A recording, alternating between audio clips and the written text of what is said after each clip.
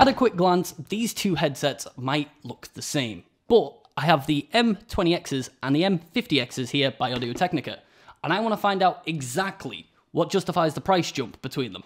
So first, I've got the M20Xs here, and you can tell they're quite a light headset. Their cable is not detachable, meaning you're stuck with the cable that it comes with. It's got a nice slide to the adjustment on the sides, good padding on the ear cups and the headband, and a good bit of swivel to the ear cups. And the main reason I bring that up is because, you know, human ears point that way, not out to the side, so you want it to have a little bit of swivel to the sides to make sure it fits nice and comfortably. And then let's have a quick look at the M50Xs as well. As you can see, there's no cable, so it does have that removable cable for the aux lead.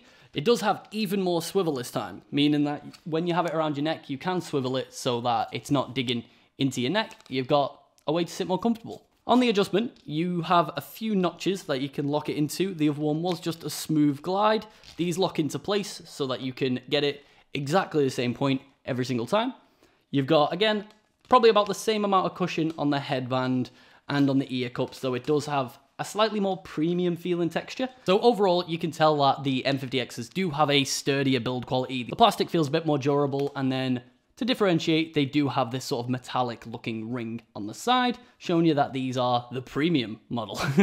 also included with the M50Xs is this nice little carrying case. And inside is where you'll find all your different types of cables. So you've got your standard aux, you've got your coiled aux so that you can use it at different lengths if you'd like to. Then you've got a much shorter cable for if your interface isn't too far away from you, which is very nice. On one end of the cable, you do have their sort of locking mechanism, so you can plug it into the headphones, lock it into place, so if you do give it a bit of a snag, it's not going to come out.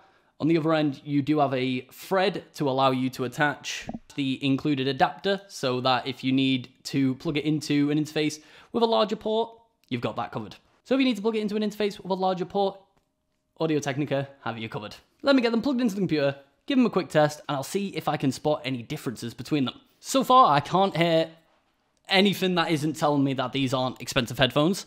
They sound crystal clear, have no sort of distortion. Maybe a little bit of the high end is off, but overall, loving them.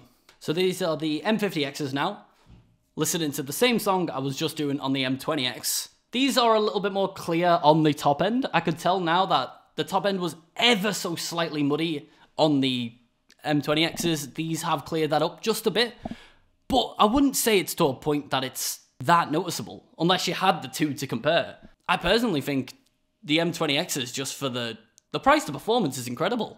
They're a little bit lighter as well, so they can actually fit a bit more comfier. If you're sort of in a professional field, you might want the slightly higher quality because you might be able to notice that when you're mixing music, mixing audio, anything like that. The M20Xs are fantastic, and these obviously take the cake for being the better headphones, but for the difference in price, if you're wanting to get into audio mixing or any sort of audio editing at all, the M20Xs are a fantastic option. So there you go. The M20Xs are a fantastic option if you're looking to get into the audio space and want some nice over-ear monitors to do the job. The M50Xs are the step up. You get the included extras like the carrying bag and the swappable aux lead. But overall, if you're looking for some good headphones, either will take the cake. Just how much are you looking to spend?